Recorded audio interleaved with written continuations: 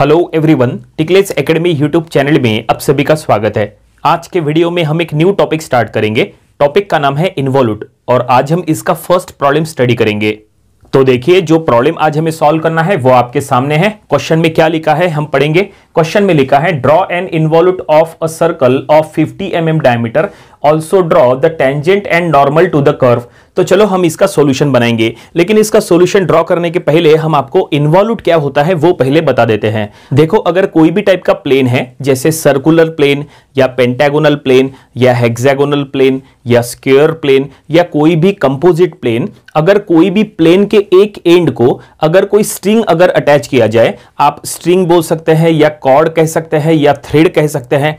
तो अगर कोई भी स्ट्रिंग अगर कोई प्लेन के एक एंड को अगर अटैच है तो वो स्ट्रिंग अगर वो प्लेन के ऊपर अगर हम वाउंड करेंगे या अनबाउंड करेंगे तो वो स्ट्रिंग का जो लास्ट एंड रहेगा, वो लास्ट एंड के पाथ को ट्रेस करते हुए जो कर्व बनता है, उसी को इन्वॉल्यूट कहते हैं। देखो, जैसे यहाँ पे एग्जांपल आपको दे देते हैं, यहाँ पे सर्कल का इन्वॉल्यूट हमें ड्रॉ करना है तो सर्कल देखिए, ये सर्कल ऐसा ठीक है? ये सर्कल का अगर हम ये नीचे का एंड पे अगर यहाँ पे कोई आ, अगर हम स्ट्रिंग अगर अटैच करेंगे ठीक है? सर्कल हो सकता है या जैसा हमने कहा कोई स्क्योर हो सकता है। चलो हम आपको स्क्योर का भी एग्जांपल बता देते हैं। अगर ये कोई स्क्योर है स्क्योर के एक एंड को अगर कोई थ्रेड यहाँ पे अगर अटैच है अगर कोई हेक्सागोन लिया जाए देखो हेक्सागॉन का भी एग्जांपल आपको बता देते हैं जो कि ये फ़र्स्ट लेक्चर है इसलिए थोड़ा सा बेसिक जो है ये हम आपको बता रहे तो ये जैसा हमने हेक्सागॉन ले लिए ये फ़िलहाल हम आपको रफ में बता रहे ठीक है? और हेक्सागॉन के एक एंड को हमने एक स्ट्रिंग यहाँ पे अटैच किया है। तो हमें क्या करना है ये जो स्ट्रिंग है ये स्ट्रिंग ये पर्टिकुलर प्लेन के ऊपर ऐसा वाउंड करना है। आ, या तो वाउंड हो सकता है या तो अनवाउंड हो सकता है। तो जब हम इसको ऐसा वाउंड करेंगे तो ये स्ट्रिंग का जो लास्ट एंड रहेगा देखो ये जो लास्ट एंड रहेगा इसको हम कहेंगे पॉइंट पी तो ये लास्ट एंड के पाथ को ट्रेस करते हुए जो कर्व बनता है ना, ऐसे जब हम इसको बाउंड करेंगे तो इस टाइप का ऐसे कर्व बनेगा। तो ये जो कर्व है, इसी को इन्वॉल्यूट कहते हैं। ये ये हमने सर्कुलर प्लेन में बता दिए। अगर ये स्क्वेयर प्लेन की अगर बात करें तो ये प्लेन के ऊपर जब ये स्ट्रिंग ऐसे वाउंड कर लेंगे, ठीक है? तो ये स्ट्रिंग का जो लास्ट एंड रहेगा लास्ट एंड के पाथ को ट्रेस करते हुए जो कर्व बनता है वही है इन्वॉल्यूट ठीक है? यहाँ पे हमने पॉइंट पे ले लिए। ये देखो इस तरह से ये है इन्वॉल्यूट ये हेक्सागोन में भी वैसे ही। हेक्सागोनल प्लेन के ऊपर भी ये अगर स्ट्रिंग अगर ये अटैच है तो ये जो आ, लास्ट का जो स्ट्रिंग का एंड है उसके पाथ को ट्रेस करते हुए ऐसा ये जो कर्व बनेगा।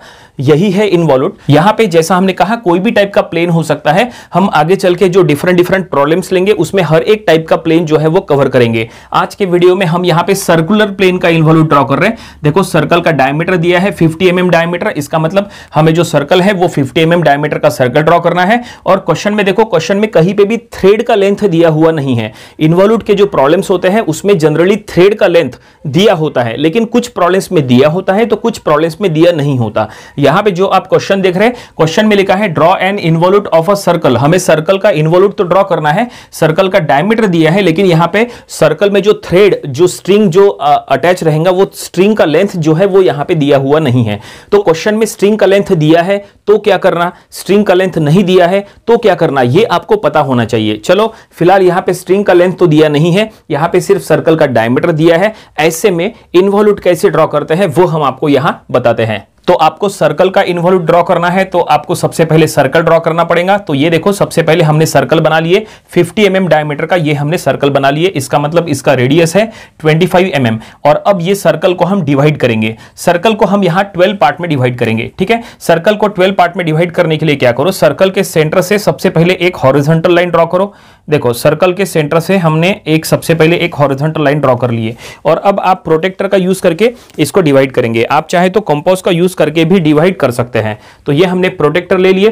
प्रोटेक्टर आप यहाँ पे सेंटर पे सेट करेंगे और यहाँ पे एंगल्स लेंगे। 30, 60, 90, 120 ऐसे आप एंगल लेंगे। देखो ये 30, 60, 90, 120, 150 इस टाइप के एंगल लेंगे। ये एंगल लेने के बाद आपको क्या करना है? यहाँ पे ये जो भी आपने एंगल मार्क किए हैं यहाँ से आपको लाइंस ड्रॉ करना है सेंटर से पास होते हुए और ये सर्कल जो है ये कंप्लीटली 12 पार्ट में डिवाइड हो जाएगा।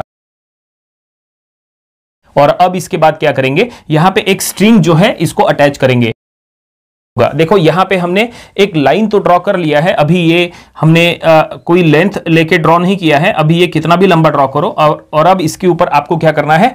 ये जो सर्कल का जो भी सरकमफ्रेंस निकलेगा, वो सर्कल का सरकमफ्रेंस का लेंथ आपको यहाँ ले लेना है, ठीक है? तो सर्कल का सर्कम का लेंथ सर्कल का सरकमफ्रेंस फाइंड आउट करने का फॉर्मूला होता है पाई डी या फिर टू पाई आर ठीक है? तो यहाँ पे पाई इंटू डी करो डायमीटर इसका डायमीटर कितना है? 50 तो पाई इंटू फिफ्टी करेंगे तो ये आएगा दैट इज़ 157 mm ठीक है? ये हम आपको एम mm में बता रहे हैं, क्योंकि 50 mm में है तो ये सर्कल का सरकमफ्रेंस आया है 157 फिफ्टी mm. तो आपको क्या करना है? ये सर्कल के नीचे आपने ये जो लाइन ड्रॉ किए हैं, ये 157 फिफ्टी mm का यहाँ पे ड्रॉ करना है। कितना? 157 यानी 15.7 सेंटीमीटर ठीक है? तो यहाँ से हम इधर, ये देखिए, ये हम पहले 157 जो है, वो ऐसे मार्क कर लेते हैं। तो ये 157 मार्क होने के बाद ये यहाँ तक जाएगा। ये देखिए, ये हमने 157 फिफ्टी यहाँ ले लिया है और ये जो 157 है, अब हम क्या करेंगे, ये 157 फिफ्टी mm ये जो हमने स्ट्रिंग बनाया है, इसको भी हम 12 पार्ट में डिवाइड करेंगे। सबसे इंपॉर्टेंट ये है कि यहाँ पे ये जो हमने स्ट्रिंग बनाया है, ये स्ट्रिंग का लेंथ हमने उतना ही रखा है जितना सर्कल का सरकमफ्रेंस आया है। जैसा हमने आपको थोड़ी देर पहले कहा था, कभी क्वेश्चन में स्ट्रिंग का लेंथ दिया होता है तो कभी स्ट्रिंग का लेंथ नहीं दिया होता है। यहाँ पे स्ट्रिंग का लेंथ दिया है क्या? नहीं। अगर स्ट्रिंग का लेंथ नहीं दिया है तो पर्टिकुलर प्लेन का जो सरकमफ्रेंस का लेंथ होगा वही स्ट्रिंग का लेंथ हो जाएगा। ठीक है? समझ में आया? तो यहाँ पे स्ट्रिंग का लेंथ नहीं दिया है तो यहाँ पे स्ट्रिंग का लेंथ क्या हो जाएगा? 157 फिफ्टी mm हो जाएगा जो कि सर्कल का सरकमफ्रेंस है। कोई भी टाइप का प्लेन हो ये सर्कल है आ, या आ, अगर यहाँ पे पेंटागन होता या हेक्सागन होता या अगर स्क्योर होता या कोई भी टाइप का कंपोजिट प्लेन होता तो जो भी प्लेन रहेगा, वो प्लेन का जो जो भी सरकमफरेंस रहेगा, वो सरकमफरेंस का लेंथ ही स्ट्रिंग का लेंथ रहेगा। ये आप ये बात आप ध्यान में रखो। अगर क्वेश्चन में स्ट्रिंग का लेंथ नहीं दिया है तो अगर दिया है तो फिर क्या करना, वो हम आपको अगले वीडियो में बताएँगे, क्योंकि स्ट्रिंग का लेंथ दिया है तो फिर उसको कैसे ड्रॉ करना, वहाँ पे थोड़ा सा चेंज करना पड़ता है, वो भी आपको पता होना चाहिए। वो हम आपको अगले वीडियो में बताएँगे। लेकिन आज के वीडियो में हम आपको सिर्फ़ ये बता रहे हैं कि अगर स्ट्रिंग का लेंथ नहीं दिया है तो क्या करना? तो यहाँ क्वेश्चन में स्ट्रिंग का लेंथ नहीं दिया था तो जो सर्कल का सरकमफ्रेंस निकला है, उसी को हमने एज अ स्ट्रिंग का लेंथ ले लिया है। तो ये हमने यहाँ पे कितना एम mm का लाइन ड्रॉ किया है तो ये हमने यहाँ पे 157 फिफ्टी mm यानी 15.7 सेंटीमीटर का लाइन ड्रॉ किया है। और अब हमें क्या करना है? अब ये 157 फिफ्टी mm की लाइन को उतने ही पार्ट में डिवाइड करना है जितने पार्ट में सर्कल को डिवाइड किए थे। तो हमने सर्कल को 12 पार्ट में डिवाइड किए थे ना? तो यहाँ पे ये लाइन को भी हम यहाँ 12 पार्ट में डिवाइड करेंगे। तो 12 पार्ट में ये डायरेक्टली डिवाइड नहीं हो पाएगा। ये स्केल से डायरेक्टली 12 पार्ट में डिवाइड नहीं होगा। ये इक्वली होना चाहिए। तो ऐसे में हम एक काम करेंगे यहाँ पे थोड़ा कंस्ट्रक्शन करेंगे। हम क्या करेंगे? एक इंक्लाइन लाइन ड्रॉ करेंगे 12 सेंटीमीटर का इंक्लाइन लाइन ड्रॉ करेंगे और वो लाइन को हम यहाँ पे 12 पार्ट में डिवाइड करेंगे। कितने भी एंगल पे ड्रॉ करो कोई फ़र्क नहीं पड़ता। ये हमने 12 सेंटीमीटर का लाइन ले लिया है और अब हम इसको पहले 12 इक्वल पार्ट्स में डिवाइड कर लेंगे। तो ये देखिए फाइनली हमने ये इंक्लाइन जो 12 सेंटीमीटर का लाइन ड्रॉ किए थे, इसको हमने 12 पार्ट में डिवाइड कर लिया है। 12 पार्ट में डिवाइड करने के बाद अब आपको क्या करना है? अब आपको रोलर स्केल या मिनी ड्राफ्टर का यूज़ करते हुए अब यहाँ पे पैरेलल लाइंस ड्रॉ करना है। रोलर स्केल या मिनी ड्राफ्टर यूज़ करो। अभी हमारे पास सिर्फ़ ये एक सिंगल स्केल है तो इससे हम ड्रॉ करने का प्रयास करेंगे। आपको क्या करना है? ये जो फ़र्स्ट एंड है, ये आपको इससे ज्वाइन करना है। देखो, सबसे पहले ये इससे ज्वाइन करो। ये देखिए, ये फ़र्स्ट पार्ट हमने इसको ज्वाइन कर लिए। अब आपको क्या करना है? स्केल जो है, वो ये लाइन को ऐसा पैरेलल सेट करना है। देखो, ऐसा पैरेलल सेट करना है और इसको रोल कराते हुए आपको ऐसा चलना है। और यहाँ पे ये देखिए, ये इस तरह से आपको पैरेलल लाइन ड्रॉ करना है। इसको पैरेलल ये देखिए, इस तरह से ये इसको पैरेलल ड्रॉ करना है। ये रोलर स्केल या मिनी ड्राफ्टर से बहुत अच्छे से ये हो जाएगा। तो ये देखिए फाइनली हमने यहाँ पे सभी पैरेलल लाइन ड्रॉ कर लिया है। यहाँ पे अब हम नंबरिंग दे देंगे।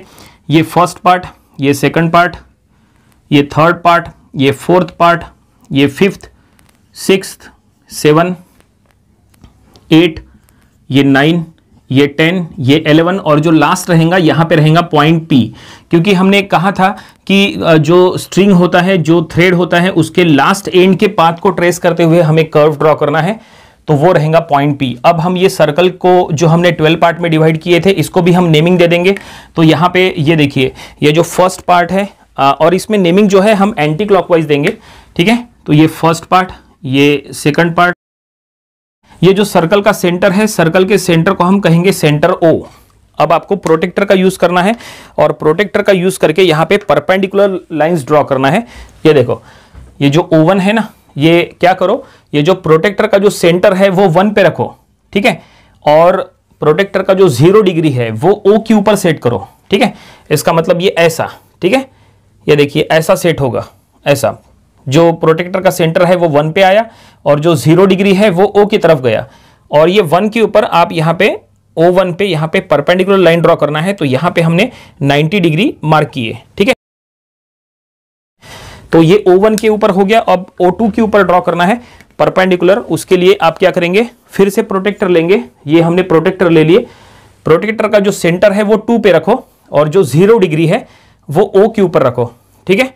ये देखो ओ टू के ऊपर इससे ये परपेंडिकुलर ड्रॉ करना है। ये देखो ओ टू के ऊपर आपको ऐसा रखना है। देखो, इस तरह से रखना है। ठीक है? टू के ऊपर परपेंडिकुलर होना है। ये देखिए, इस तरह से। ये हमने 90 डिग्री का एंगल मार्क कर लिए और यहाँ पे अब लाइन ड्रॉ करना है।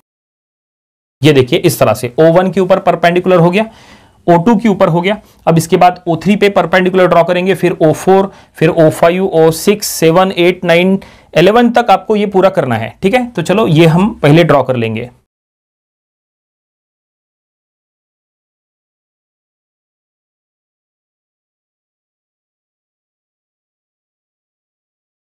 तो ये देखिए फाइनली आप यहाँ देख सकते हैं कि हमने सभी पॉइंट्स पे यहाँ पे परपेंडिकुलर लाइंस ड्रॉ कर लिए हैं, ठीक है? नंबर ऑफ़ स्टूडेंट्स जो है वो यहीं पे गलती करते हैं, गलती नहीं होनी चाहिए, ठीक है? और ये जो लाइंस है, ये आपको फेंड पेंसिल से ड्रॉ करना है। और अब इसके बाद देखो कंस्ट्रक्शन तो पूरा हो चुका है, और अब हम यहाँ पे क्या करेंगे? जो इन्वॉल्यूड के जो पॉइंट्स है, वो अब हम यहाँ मार्क करेंगे। तो इन्वॉल्यूड के पॉइंट्स मार्क करने के लिए आपको कंपॉस लेना है। देखो कंपॉस आपको ले लेना है। कंपॉस में अब आपको लेंथ क्या लेना है, वो जरा आप पहले समझ लो। देखो, ये स्ट्रिंग के ऊपर, ये स्ट्रिंग के ऊपर यहाँ पे वन है और यहाँ पे पी है। तो वन से पी का लेंथ आपको लेना है। तो ये वन से पी का लेंथ हमने यहाँ ले लिए और अब अब आपको क्या करना है? ये वन से पी का जो लेंथ है, ये सर्कल के वन के ऊपर रखना है। देखो सर्कल का वन कहाँ है? देखो सर्कल का वन ये है। देखो, ये वन है। तो ये जो वन का जो लाइन जा रहा है, इसके ऊपर आपको कट करना है। ठीक है? कंपोज का जो सेंटर है, वो आपको ये वन के ऊपर रखना है। ये देखिए हमने कंपोज का सेंटर यहाँ रखे और यहाँ पे आपको कट करना है, ये लाइन के ऊपर काफ़ी दूरी, देखो उधर यहाँ पे कट गया है, ठीक है? ये वन की जो लाइन है, उसके ऊपर हमने कट कर दिए। वन से लेके पी का लेंथ हमने लिए थे। और अब इसके बाद ये स्ट्रिंग के ऊपर टू से पी का लेंथ ले लो तो टू से पी का लेंथ। और अब कंपोज का सेंटर जो है, वो सर्कल के टू के ऊपर रखो। देखो, सर्कल का टू यहाँ है, इसके ऊपर रखो, और इसकी जो लाइन जा रही है, उसके ऊपर आप कट कर रहे हैं ठीक है? तो ये देखिए, इसके ऊपर हम कट करेंगे, ये काफ़ी ऊपर जा रहा है। शायद ये आपको आ, ये एक्चुअली काफ़ी ऊपर जा रहा है। तो ये कोई दिक्कत नहीं है ये हम यहाँ पे मार्क कर लेते हैं ठीक है? तो ये हमने मार्क कर लिए ओके? इसके बाद आपको कंपोस में ये स्ट्रिंग के ऊपर थ्री से पी का लेंथ लेना है। और अब कंपोस का जो सेंटर है वो सर्कल के थ्री के ऊपर रखो। देखो सर्कल का थ्री यहाँ है और ये यहाँ पे रख के कट करो। ये काफ़ी ऊपर जा रहा है ठीक है? कोई दिक्कत नहीं है ये हम यहाँ पे मार्क कर लेंगे। तो ये हमने मार्क कर लिए काफ़ी ऊपर जा रहा है। ये एक्चुअली आपको भी दिखेगा कि ये जो है यहाँ तक ही आपको वीडियो दिखाई देगा। इसके ऊपर वो एक्चुअली कट गया, ये थ्री की लाइन ठीक है? ठीक है, हम इसको कंप्लीट कर लेते हैं। फिर आपको क्या करना है? ये कंपोस्ट में फोर से पी का लेंथ लेना है। तो ये हमने फोर से पी का लेंथ ले लिए। और देखो फोर से पी का लेंथ लिए और ये सर्कल के फोर के ऊपर रखना है। और ये फोर की जो लाइन है, उसके ऊपर आपको कट करना है। तो ये फोर की लाइन पे आपको कट करना है। ये हमने कट कर दिए। तो ये देखिए, इस तरह से हमने सभी पॉइंट्स यहाँ पे मार्क कर लिए हैं। जैसा हमने कहा था, हमने अब फाइव से पी का लेंथ लिए कंपोज का सेंटर फाइव पे रखे और यहाँ पे कट कर दिए। देन सिक्स से पी का लेंथ लिए देन कंपोज का सेंटर सिक्स पे रखे, इधर कट करें। देन सेवन से पी का लेंथ लिए कंपोज का सेंटर सेवन पे रखे कट किए। फिर एट से पी का लेंथ लिए कंपोज का सेंटर एट पे रखे और ये कट किए। फिर नाइन से पी का लेंथ लिए कंपोज का सेंटर नाइन पे रखे, ये कट किए। टेन से पी का लेंथ लिए कंपोज का सेंटर 10 पे रखे कट किए। देन 11 से पी का लेंथ लिए, ये 11 के ऊपर रखे और ये कट किए। इस तरह से ये फाइनली सभी पॉइंट्स हमने यहाँ पे मार्क कर लिए हैं। हमेशा ध्यान में रखो, जो लेंथ है, वो आपको ये स्ट्रिंग के ऊपर से ले लेना है। कंपोज का कंपोज में जो भी लेंथ है, वो आपको ये स्ट्रिंग के ऊपर से लेना है और कंपोज का सेंटर जो है, वो पर्टिकुलर ये one two three four five six इस तरह से ये पॉइंट्स के ऊपर रख के आपको वो लाइन्स के ऊपर कट करना है। और फाइनली सभी पॉइंट्स कट होने के बाद यहाँ पे कुछ ऐसा दिखाई देगा। ये देखिए, इस तरह से ये आपको पॉइंट्स दिखाई दे रहे हैं। बस आपको क्या करना है, अब ये सभी पॉइंट्स को ज्वाइन करना है। अब ये सभी पॉइंट्स को ज्वाइन करते हुए एक कर्व आपको ड्रॉ करना है। ये कर्व जो है, ये आप दो तरह से बना सकते हैं। चाहे तो आप फ्री हैंड ड्रॉ करो, चाहे तो आप फ्रेंच कर्व का यूज़ करो। वैसे आप फ्रेंच कर्व का यूज़ करके ड्रॉ करेंगे तो बहुत ही अच्छा और स्मूथ कर्व बनेगा। अभी इतना बड़ा फ्रेंच कर्व तो आता नहीं है तो हम इसको फ़िलहाल फ्री हैंड ज्वाइन कर लेते हैं। ठीक है, आपको यहाँ से स्टार्ट करते हुए आपको ऐसा पूरा पी तक चलना है। तो ये देखिए फाइनली हमने सभी पॉइंट्स को ज्वाइन करते हुए यहाँ पे ये एक इन्वॉल्यूट तैयार कर लिया है और सभी को हमने नेमिंग दिया है। देखो राइट साइड से आप देख सकते हैं, जहाँ पे पॉइंट पी था, उसके ऊपर देखो फ़र्स्ट पॉइंट जहाँ पे मार्क किए थे, वो था P1 देन उसके ऊपर P2 then P3 P4 up to P11 12 तक इस तरह से हमने सभी पॉइंट्स को यहाँ पे नेमिंग भी दे दिया है ओके तो क्वेश्चन में जो लिखा था कि draw an involute of a circle of 50 M mm तो ये हमने 50 एम mm डायमीटर सर्कल के लिए इन्वॉल्यूट तो तैयार कर लिया है, लेकिन सॉल्यूशन अभी कंप्लीट नहीं हुआ है, क्योंकि क्वेश्चन में लिखा है also draw the tangent and normal to the curve लेकिन जो कि ये वीडियो पहले ही काफ़ी लंबा हो चुका है, इसीलिए हम एक काम करेंगे टेंजेंट और नॉर्मल इन्वॉल्यूट के ऊपर हम नेक्स्ट वीडियो में आपको ड्रॉ करके बताएँगे। आज के वीडियो में हमने आपको पूरी तरह से इन्वॉल्यूट ड्रॉ करके बताया है। उम्मीद करते हैं कि ये पूरा इन्वॉल्यूट कंस्ट्रक्शन आपको समझ में आया होगा। ये आपको अपनी ड्राइंग बुक में ज़रूर ड्रॉ करके देख लेना चाहिए। नेक्स्ट वीडियो में हम इसी इन्वॉल्यूट के ऊपर टेंजेंट और नॉर्मल भी ड्रॉ करके बताएँगे। आज के वीडियो में फ़िलहाल इतना ही। मिलते हैं नेक्स्ट वीडियो में। Thank you very much